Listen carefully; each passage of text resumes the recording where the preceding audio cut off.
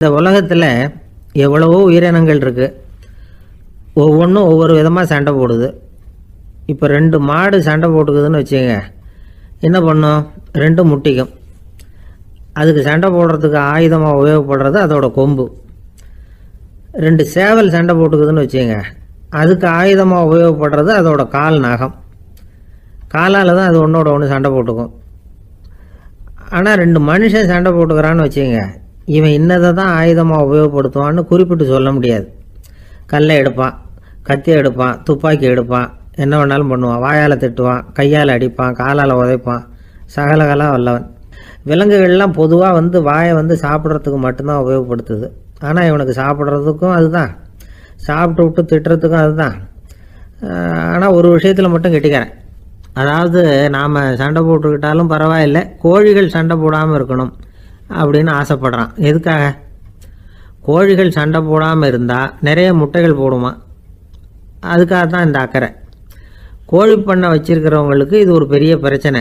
அதாவது பண்ணையில் இருக்கிற கோழிகளுக்குள்ளே அடிக்கடி சண்டை வந்துடும் அதனால் முட்டை உற்பத்தி குறைஞ்சிரும்.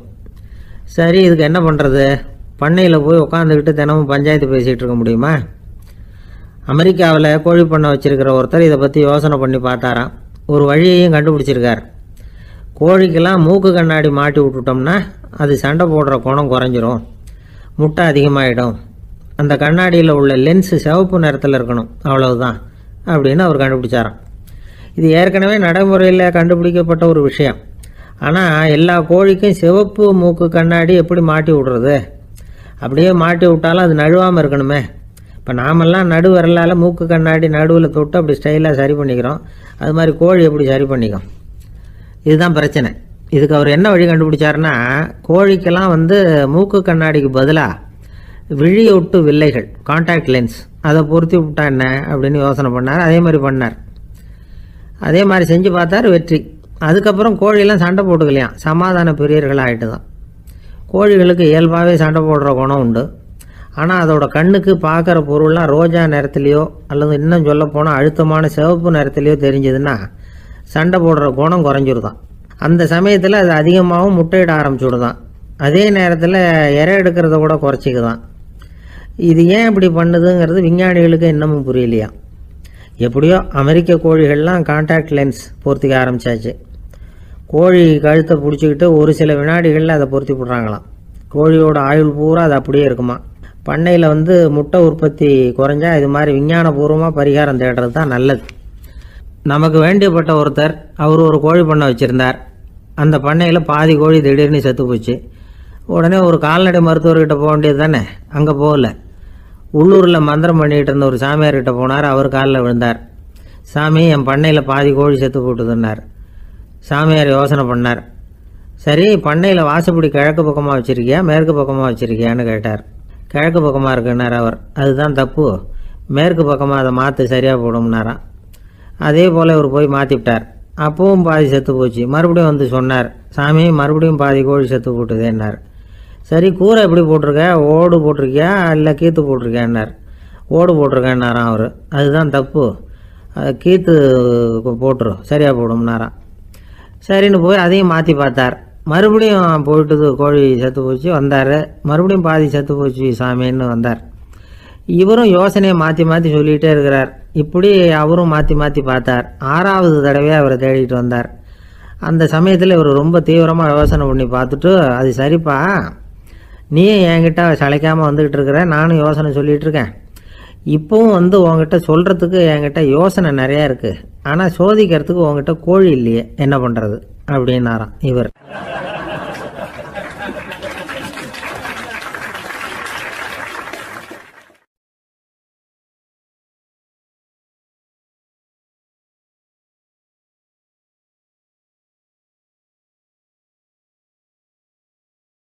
ஒரு சீன தேசத்து அரசர் இருந்தார். அவருக்கு வயசாயிட்டுது. அவருக்கு அடுத்தபடியாக அவருடைய புள்ள பட்டத்துக்கு வரணும். ஆட்சி பொறுப்பை ஏற்றுக்கணும் ஒரு நல்ல தலைவனுக்கு இருக்க வேண்டிய பண்புகள்லாம் தன்னுடைய மகனுக்கு இருக்கணும்னு விரும்பினார் அந்த அரசர். அதனால் இளவரசனை பக்கத்தில் இருந்த ஒரு குரு கிட்ட அனுப்புனார். இளவரசன் அவர்கிட்ட போய் சேர்ந்தான். அந்த குரு என்ன பண்ணார் தெரியுமா? இவனை பார்த்து சொன்னார் இதை பாருப்பா நீ என்ன பண்ணுற இப்போவே பக்கத்தில் இருக்கிற காட்டுக்கு போ. நடுக்காட்டில் போய் ஒரு இடத்துல உட்காந்துக்கோ. அங்கே என்னென்ன சத்தம்லாம் உன் காதில் விழுதுன்னு கவனித்து கேளு. உன் காதில் விழுந்த ஓசைகள் என்னென்னங்கிறத என்கிட்ட வந்து சொல்லு. அதுதான் எனக்கு தெரியணும். உனக்கு வேலையும் அதுதான். அப்படின்னு சொல்லி அனுப்பி வச்சுட்டார். இளவரசன் காட்டுக்கு போனான். குரு சொன்னபடியே ஒரு இடத்துல உட்காந்து கவனித்து கேட்டான். அதுக்கப்புறம் குரு திரும்பி வந்தான். என்னென்ன சத்தம்லாம் கேட்ட? அப்படின்னு கேட்டார் குரு. குருவே காட்டில் நான் பறவைகள் சத்தம்லாம் கேட்டேன். மிருகங்களின் ஓசையையும் கேட்டேன். இதை தவிர இடி மின்னல் மழை இதுகளோட சத்தத்தையும் கேட்டேன் அப்படின்னா. குரு யோசனை பண்ணார். நீ இன்னமும் சரியாக கேட்கல அதனால் மறுபடியும் காட்டுக்கு போ. கொஞ்ச நாள் தங்கி இருந்து கேட்டுட்டு வா. அப்படின்னார். இளவரசனுக்கு ஒன்றும் புரியல. இருந்தாலும் குருவின் கட்டளையாச்சே. மறுக்க முடியுமா? உடனே அவன் மறுபடியும் காட்டுக்கு போனான் ஒரு இடத்துல உட்காந்தான் கொஞ்ச நேரம் உன்னிப்பாக கவனித்து கேட்டான். சில நாள் கழித்து குரு திரும்பி வந்தான். குருவே இந்த தடவை சில துல்லியமான சத்தங்களை எல்லாம் கேட்டான்.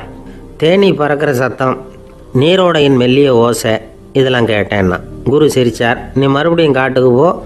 இன்னும் சில நாள் அங்கே இரு. முழுமையாக கவனமாக கேட்டுட்டு வா அப்படின்னு சொல்லி அனுப்பி வச்சுட்டார். இளவரசனுக்கு குழப்பம் அதிகமாயிட்டுது. ஒன்றுமே புரியல. மறுபடியும் காட்டுக்கு போனான் மௌனமாக ஒரு இடத்துல உட்காந்துட்டான் அப்படியே தியானத்தில் ஆழ்ந்துட்டான். சில நாளில் அவனுக்கு இதுவரை கேட்காத ஓசைகள்லாம் கேட்க ஆரம்பிச்சிட்டுது. இதைத்தான் நான் கேட்கணும்னு என்னுடைய குரு எதிர்பார்த்துருக்கிறாருங்கிறத புரிஞ்சுக்கிட்டான். உடனே குரு ஓடனான் குருவே இந்த தடவை காதுகளுக்கு கேட்க முடியாத சில ஓசைகளை கூட என்னால் உணர முடிஞ்சுது. பூ மலருகிற ஓசை. சூரியனால் பூமி சூடாகிறப்போ எழுகிற ஓசை. காலை பனித்துளி இந்த புல்லுலாம் குடிக்கிற ஓசை. இது எல்லாம் என்னால் நல்லா கேட்க முடிஞ்சுது அப்படின்னா. குருவுக்கு இப்போ தான் திருப்தி ஏற்பட்டு தான் இளவரசனை பார்த்து சொன்னார் இதை பாருப்பா இப்போ தான் நாட்டை ஆளுகிற தகுதி உனக்கு வந்திருக்குது அப்படின்னு சொல்லி அதுக்கு விளக்கமும் கொடுத்தாராம். எந்த அரசன் தன்னுடைய மக்களின் இதயம் பேசுகிற மௌன மொழியை மௌன வார்த்தைகளை கேட்குறானோ அவன் தான் ஆள தகுதி உள்ளவன். எந்த அரசன் தன்னுடைய மக்களின் உணர்ச்சிகளை உண்மையாக உணர்றானோ அவன் தான் முதன்மையான அரசன். போலி வார்த்தைகளை மட்டும் கேட்டுட்டு பல மௌன ராகங்களை காதில் வாங்கிக்காதவன் அரசனே இல்லை. எந்த நாட்டில் எப்போ ஒரு அரசன் தன்னுடைய மக்களின் உணர்ச்சிகளை கேட்க மறுக்கிறானோ அன்னையிலிருந்தே அந்த நாடு அழியத் தொடங்குது அப்படின்னு அர்த்தம். இதுதான் அந்த குரு இளவரசனுக்கு போதிச்சது. வாயால் பேசுகிறத மட்டும் கேட்டு ஏமாறப்படாது. உணர்ச்சிகளையும் கேட்கறதுல தான் மனப்பக்குவம் உண்டாகும். மக்கள் உணர்ச்சிகளை புரிந்து கொள்ளாத அரசர்கள் வந்து நீடிச்சிருக்க முடியாது. அது மாதிரி நாடுகளில் அடிக்கடி குழப்பம் தான் உண்டாகும். அப்படி இருந்தால் அடிக்கடி ஆட்சி மாறிக்கிட்டு இருக்கும். அப்படிப்பட்ட ஒரு தேசம் அங்கே ஒரு சிறைச்சாலையில் மூன்று கைதிகள் பேசிக்கிட்டு இருந்தாங்க. ஒருத்தன் சொன்னான் நான் இந்த நாட்டு ராஜாவை எதிர்த்து பேசிக்கிட்டு இருந்தேன். அதனால் என்னை பிடிச்சி கொண்டாந்து இங்கே போட்டுட்டாங்க அப்படின்னா ஒருத்தன். இன்னொருத்தன் சொன்னான் நான் இந்த நாட்டு ராஜாவை ஆதரித்து பேசிக்கிட்டு இருந்தேன். அதனால் என்னை பிடிச்சி கொண்டாந்து இங்கே தள்ளிவிட்டாங்க. அப்படின்னா அது சரி நீ என்ன தப்பு பண்ண? அப்படின்னு சொல்லி மூணாவது ஆளை பார்த்து இவங்க கேட்டாங்க. அதுக்கு அந்த ஆள் சொல்கிறான் நான் தான் இந்த நாட்டு ராஜா. அப்படின்னானா. லோகமானிய பாலகங்காதர திலகர் இருந்தார்ல அவருக்கு பதினஞ்சு வயசுலேயே கல்யாணம் நடந்துதான் மனைவி பேர் தபிபாய். ரொம்ப பெரிய குடும்பத்து பொண்ணு நல்ல குணம். அவங்க குடும்பம் நடத்திக்கிட்டு இருக்கிறாங்க. அந்த காலத்தில் திருடர்கள் பயம் அதிகம். இந்த காலத்தில் மட்டும் என்னென்னு கேட்குறீங்களா நீங்கள் கேட்குறது நியாயம்தான். இருந்தாலும் இந்த காலத்து திருடனுக்கும் அந்த காலத்து திருடனுக்கும் ஒரு முக்கியமான வித்தியாசம் உண்டு. அதாவது அந்த காலத்து திருடன்லாம் நியாயம் அநியாயம் பார்க்குறது உண்டு. இந்த காலத்தில் அப்படி பார்க்குறது இல்லை. அந்த காலத்தில் திருட வர்றவங்கள்ட்ட கூட ஒரு தார்மீக உணர்வு உண்டாம். அதாவது அப்போ உள்ள கொள்ளைக்காரங்க எதை களவாடினாலும் சரி அரிசியை மட்டும் களவாடுறது இல்லையா அப்படி ஒரு கொள்கை. அதனால் பாருங்கள் அந்த காலத்து பெண்கள் வந்து நகை நட்டுகளை பத்திரமா வைக்கணும்னா பெட்டியில் வைக்கிறது இல்லை அரிசி பானையில் போட்டு வச்சு விடுறது. இப்போல்லாம் பேங்க்கில் வந்து சேஃப்டி லாக்கர்னு இருக்குல்ல அது மாதிரி அந்த காலத்தில் வந்து சேஃப்டி லாக்கருங்கிறது அரிசி பானை. இந்த வளையல் மூக்குத்தி தோடு இப்படி எதுவாக இருந்தாலும் அதில் போட்டு பத்திரமா வச்சுருவாங்க. திருடன் வந்து அரிசி பானை பக்கம் போகிறதில்ல ஏன்னா சாப்பிட்ற விஷயத்தில் கை வைக்கக்கூடாது அது பாவம் அப்படின்னு அவன் நினைக்கிறான். திலகரோட மனைவி தபீபாயும் அதே மாதிரி தன்னுடைய ஆபரணங்களை ஒரு அரிசி பானைக்குள்ளே போட்டு மூடி வச்சுருந்தாங்களாம். இப்படி இருந்தப்போ ஒரு நாள் ஒரு பிச்சைக்கார பொண்ணு வீடு வீடாக பிச்சை கேட்டுக்கிட்டே வந்திருக்குது. திலகர் வீட்டுக்கும் வந்து தர்மம் போடுங்க தாயே அப்படின்னு தான் அந்த பொண்ணு. அந்த அம்மா தபீபாய் காதில் இது விழுந்திருக்கு. உடனே கை நிறைய அரிசி அள்ளிக்கிட்டு வந்து போட்டிருக்கு. பாத்திரத்தில் அரிசியை போட்டதுக்கு அப்புறம் தான் தெரியுது பளிச்சுன்னு கண்ணில் படுது அதாவது அந்த அம்மாவோட வைர மூக்குத்தி ஒன்று அரிசியோடு சேர்ந்து அந்த பிச்சைக்கார பொண்ணு பாத்திரத்தில் போய் விழுந்துட்டுது. இந்த அம்மாவுக்கு மனசுக்குள்ளே குழப்பம். என்ன இப்படி ஆயிட்டுதே? மூக்குத்தி போயிட்டுதே? பிச்சை பாத்திரத்துலேருந்து அதை எப்படி எடுக்கிறது? அப்படின்னு தயக்கம். வாயை திறந்து அதை கேட்குறதுக்கும் கூச்சம். திண்ணையில் உட்காந்துருந்த திலகர் இவ்வளவையும் பார்த்துக்கிட்டு இருக்கிறார். மனைவியின் மனசுக்குள்ளே நடக்கிற மௌன போராட்டத்தை அவர் நல்லா புரிஞ்சுக்கிட்டாராம். மனைவியை பார்த்து சொன்னாராம் தபீபாய் இது வந்து தெய்வ சம்மதம். அவளுக்கு சேர வேண்டிய மூக்குத்தி அவகிட்ட போயிட்டுது. பிச்சை பாத்திரத்தில் விழுந்த மூக்குத்தியை எடுக்க வேணாம் அப்படின்னாராம். சரின்னு சொல்லிவிட்டு மேற்கொண்டு எதுவும் சொல்லாமல் அந்த அம்மா வீட்டுக்குள்ளே போயிட்டாங்களாம். இந்த காலத்துலலாம் அது மாதிரி நடக்குமா? வெறும் அரிசியை போட்டுட்டு விவகாரம் பண்ணிகிட்டு இருக்க மாட்டோமா? ஒரு பெரிய மனுஷன் வீட்டுக்கு ஒரு பிச்சைக்காரன் வந்தான். ஐயா நாங்கள் பிச்சைக்காரங்கள்லாம் சேர்ந்து ஒரு சங்கம் வச்சுருக்குறோம். அதுக்கு நிதி சேர்க்குறோம். அதுக்கு ஒரு நூறுரூவா கொடுத்தீங்கன்னா எங்களுக்கு பெரிய உதவியாக இருக்கும் அப்படின்னானா அதெல்லாம் ஒன்றும் கொடுக்க முடியாது போ அப்படின்னாராம் அவர். அப்படின்னா ஒரு ஐம்பது ரூபாயாவது கொடுங்களேன் அப்படின்ட்டுருக்கான் அதுவும் முடியாதுன்னு சொல்லிவிட்டார். இருபத்தஞ்சி ரூபா அப்படின்ட்டுருக்கான் எதுவும் முடியாது அப்படின்னாராம். சரிங்க இவ்வளோ பெரிய வீட்டுக்கு வந்துட்டு வெறுங்கையோடு திரும்புறது நல்லா இருக்காது. அதனால் சும்மா ஒரு ஒரு ரூபா மட்டுமாவது கொடுங்க அப்படின்ட்டுருக்கான் அவன். ஒரு பைசா கூட என்கிட்ட கிடையாது அப்படின்னு விட்டாரான் இவர். அப்படின்னா நீங்கள் ஒரு காரியம் பண்ணுங்களேன் அப்படின்னு நானா அவன். என்ன செய்யணும் அப்படின்ட்டுருக்கார் எங்கள் சங்கத்தில் நீங்களும் ஒரு மெம்பராக சேர்ந்துருங்க அப்படின்னானா. ஜவஹர்லால் நேரு பிரதமராக இருந்த சமயம் அவர் ஒரு தடவை சென்னைக்கு வந்திருக்கிறார். இங்கே சில முக்கிய நிகழ்ச்சிகளில் கலந்துக்கிறதுக்காக வந்திருந்தார். ஆளுநர் மாளிகையில் ஒரு நாள் ராத்திரி தங்கி மறுநாள் புதுடெல்லி புறப்படுறதாக ஏற்பாடு. நிகழ்ச்சியிலெல்லாம் முடிச்சுக்கிட்டு ஆளுநர் மாளிகையில் தங்கி இருக்கிறார் அன்றைக்கு இரவு படிக்கிறதுக்கு ஒரு முக்கியமான புத்தகம் அவருக்கு தேவைப்பட்டது.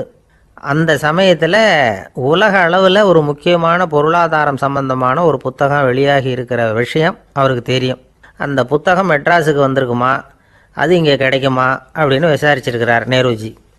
அவர் இப்படி கேட்ட உடனே அங்கே இருந்தவங்கெல்லாம் ரொம்ப பரபரப்பாக செயல்பட ஆரம்பிச்சிட்டாங்க. முக்கியமான இடங்கள்ல எல்லாம் விசாரிச்சிருக்கிறாங்க. அந்த புத்தகம் உங்ககிட்ட இருக்கான்னு. சென்னையில் உள்ள கன்னிமாரா நூல் நிலையத்துக்கு எப்படியும் அந்த புத்தகம் வந்திருக்கணும் அப்படின்னு ஒரு நம்பிக்கை. அங்கே விசாரித்தாங்க அந்த புத்தகம் ரெண்டு நாளைக்கு முன்னாடி தான் அங்கே வந்திருக்குது அப்படிங்கிற விஷயம் தெரிஞ்சுது. உடனே எல்லோரும் அங்கே ஓடினாங்க. அவங்களுக்கு இன்னொரு சந்தேகம். புத்தகம் வந்திருக்கு சரி அது இந்த சமயத்தில் வேற யாரும் படிக்கிறதுக்கு எடுத்துகிட்டு போயிருக்கக்கூடாதே அப்படிங்கிற சந்தேகம். இருந்தாலும் மனசுக்குள்ள ஒரு தைரியம். இப்படி ஒரு புத்தகம் வெளிவந்திருக்கிற விஷயமே நேருஜி சொல்லி தான் நமக்கே தெரியும். அதுவும் இல்லாமல் உலக பொருளாதாரம் சம்பந்தமான ஏதோ ஒரு புத்தகம் அது. அதை போய் இந்த நேரத்தில் அவ்வளவு ஆர்வமாக யார் எடுத்துகிட்டு போயிட போகிறாங்க அப்படிங்கிற தைரியம். இந்த தைரியத்தோடு அந்த நூல் நிலையத்துக்கு ஓடினாங்க. புத்தகத்தை தேடினா அது கிடைக்கல. யாரோ எடுத்துகிட்டு போயிருக்கிறாங்க.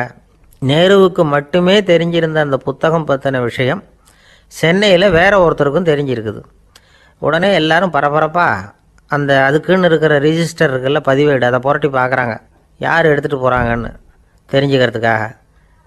எடுத்துகிட்டு போனவங்க அதில் கையெழுத்து போட்டிருப்பாங்கல்ல அதை பார்த்து யாருன்னு தெரிஞ்சுக்கலாம் அப்படிங்கிறதுக்காக தான் அதை புரட்டுறாங்க. அதோ அந்த புத்தகத்தோட பேர் பக்கத்தில் அதை எடுத்துக்கிட்டு போனவங்க கையெழுத்து உத்து பார்க்குறாங்க எல்லாரும். அதில் போட்டிருக்குது பேர் சிஎன் அண்ணாதுரை. அப்படின்னு எழுதியிருந்தது. அவர் தான் பேரறிஞர் அண்ணா. நேரு படிக்க விரும்பின ஒரு புத்தகத்தை அதே நேரம் படிக்க விரும்பின இன்னொரு தலைவர் இவர். படிக்கிறதுல அவருக்கு இருந்த ஆர்வத்தை நாம் தெரிஞ்சுக்கணும்னா அதுக்கு எவ்வளவோ சம்பவங்கள் இருக்குது கடைசி காலத்தில் அவர் அடையாறு மருத்துவமனையில் படுத்திருக்கிறார். அவருக்கு ஒரு முக்கியமான அறுவை சிகிச்சை செய்ய வேண்டியிருக்குது. அவசரமாக அமெரிக்காவிலேருந்து டாக்டர் மில்லர் வந்திருக்கிறார். அவர்கிட்ட கேட்குறார் டாக்டர் நாளைக்கே அறுவை சிகிச்சை செய்ய போகிறீங்களா அப்படின்னு. ஆமாங்கிறார் டாக்டர் மில்லர். நாளைக்கு மறுநாள் செஞ்சுக்கிறேனே அப்படின்னாரா அண்ணா. ஏன் ஏதாவது நாள் பார்க்குறீங்களான்னு கேட்டிருக்கார். இல்லை ஒரு புத்தகத்தை படிச்சுக்கிட்டு இருக்கிறேன். அதை நாளைக்குள்ளே முடிச்சிருவேன். அதுக்கப்புறம் நான் இறந்தாலும் கவலை இல்லை அப்படின்னாரா இவர். அவர் தான் அறிஞர் அண்ணா. சங்ககால நூல்கள்லேருந்து சமீபத்தில் வந்த நூல்கள் வரைக்கும் எல்லாம் அவர் படிச்சிருக்கிறார் ஒரு திருமண விழாவில் அவர் பேசும்பொழுது சொன்ன விஷயம் இது. சங்க காலத்தில் காதலியை மணக்க விரும்புகிறவனுக்கு அவனுடைய தந்தை வீர சோதனைகள்லாம் வைப்பார். போய் புலிப்பல்லு கொண்டுக்கிட்டு வா அப்போ தான் என் பொண்ணை கொடுப்பேன் அப்படின்னு சொல்லுவார். காதலன் உடனே காட்டுக்கு போவான் ஒரு புலியை கொன்று அதனுடைய பல்லை கொண்டுக்கிட்டு வருவான். அதை வீர பதக்கத்தில் பதிச்சு அவனுக்கு மாமனார் சூட்டுவார் கல்யாண சமயத்தில். இப்போலாம் காதலன் கிட்ட அப்படி சொல்ல முடியாது. இப்போலாம் காதலன் கிட்ட காட்டுக்கு போய் புலிப்பல் கொண்டுக்கிட்டு வான்னு யாராவது சொன்னால் புலி தான் மாப்பிள்ளையாக வந்து சேரும் அப்படின்னார்.